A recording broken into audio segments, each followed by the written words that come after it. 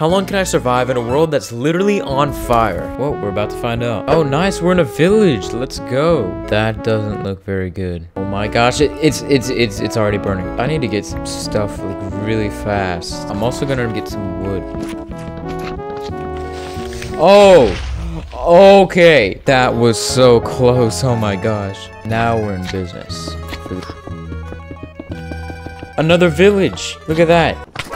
Oh, oh, oh my gosh. Oh, that was way too close. I need to get to the other village. Okay, now we just need to cross this wasteland. Good thing I have blocks. Oh, oh, I almost thought I was done there. Gonna do some quick parkour. Block clutch there. Oh my gosh.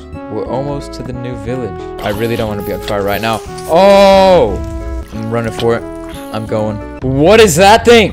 Oh my gosh. What? Why are there chicken? What just happened?